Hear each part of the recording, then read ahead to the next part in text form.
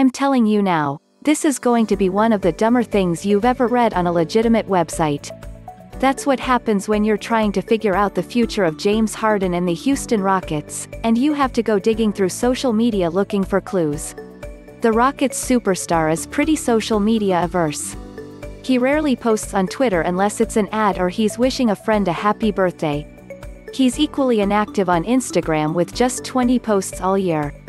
So, when Harden posted to his Instagram stories on Monday night, people noticed. Especially, since it seemed like he was sending a coded message. Figuring it all out, what's going on with the Rockets' James Harden and Russell Westbrook before you can help us decipher the message, we must first make sure you're up on slang. This is where me being a 40-something white man makes this lesson painfully cringe-worthy. When someone says something is cap, it means it's a lie. Adversely, when someone says no cap, that means it's the truth. On Monday, rumors about Harden's future started to swirl. The Houston Chronicle's Brian T. Smith reported Harden wants to be traded to the Brooklyn Nets to team up with Kevin Durant and Kyrie Irving.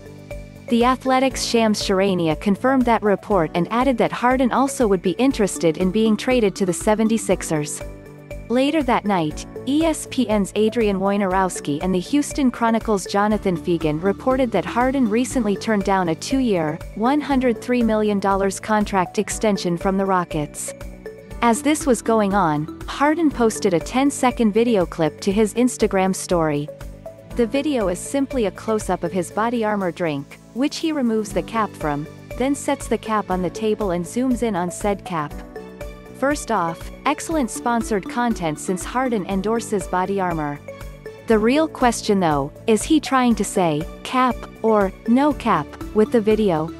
The zoom on the cap at the end seems like he's saying, cap. Of course, removing the cap from the bottle also means that bottle literally has, no cap. Let's assume, based off the zoom on the cap, I told you this was going to be dumb, that he's saying something is, cap. Okay, but what is he saying is the lie? Is it a lie that he wants to be traded?